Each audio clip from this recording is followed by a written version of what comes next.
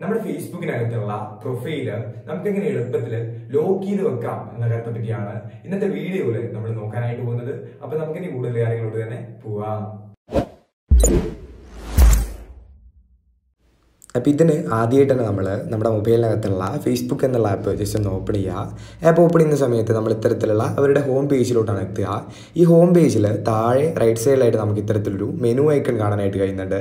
ഈ ഐക്കണിൽ ജസ്റ്റ് ഒന്ന് ടാപ്പ് ചെയ്തുകൊണ്ട് നമ്മുടെ ഫേസ്ബുക്ക് മെനുവിലോട്ട് നമ്മളൊന്ന് കയറുക ശേഷം നമ്മൾ ജസ്റ്റ് താഴോട്ട് സ്ക്രോൾ ചെയ്യുന്ന സമയത്ത് നമുക്കിവിടെ ഇത്തരത്തിൽ സെറ്റിങ്സ് ആൻഡ് പ്രൈവസി എന്നുള്ള ഒരു ഓപ്ഷൻ കാണാനായിട്ട് കഴിയുന്നുണ്ട്. നമ്മൾ ജസ്റ്റ് അതിലൊന്ന് ടാപ്പ് ചെയ്യുക അതിൽ ടാപ്പ് ചെയ്യുന്ന സമയത്ത് ഇത്തരത്തിൽ ഒരുപാട് ഓപ്ഷൻസ് ഇവിടെ ഇനേബിൾ ആയിട്ട് വരും. അപ്പോൾ ഇതിൽ ഫസ്റ്റിലുള്ള സെറ്റിങ്സ് എന്നുള്ള ഏരിയയിൽ ജസ്റ്റ് ഒന്ന് ടാപ്പ് ചെയ്ത് കൊടുക്കുക.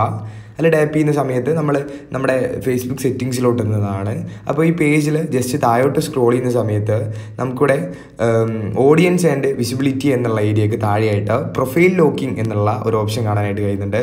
ജസ്റ്റ് നമ്മൾ അതിലൊന്ന് ടാപ്പ് ചെയ്യുക. അല്ല ടൈപ്പ് ചെയ്യുന്ന സമയത്ത് നമുക്ക് ഇത്തരത്തിലുള്ള ഒരു പേജിലായിട്ട് എത്താനായിട്ട് കഴിയുന്നതാണ്. അപ്പോൾ ഇവിടെ താഴെയായിട്ട് നമുക്ക് ലോക്ക് യുവർ പ്രൊഫൈൽ എന്നുള്ള ഒരു ബ്ലൂ കളർ ബട്ടണിൽ കാണാനായിട്ട് കഴിയുന്നുണ്ട്. അതിൽ ജസ്റ്റ് ഒന്ന് ടാപ്പ് ചെയ്ത് കൊടുക്കുക.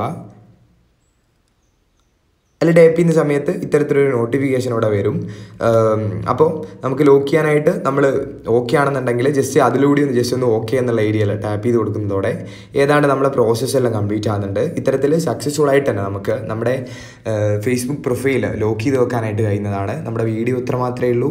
വീഡിയോ നിങ്ങൾക്ക് ഉപകാരപ്രദമാവുകയാണെങ്കിൽ ഒന്ന് ലൈക്ക് ചെയ്ത് പോവുക. അതേപോലെ നമ്മുടെ ചാനൽ സബ്സ്ക്രൈബ് ചെയ്യുന്ന കാര്യം കൂടി ഒന്ന് പരിഗണിച്ച് പോവുക.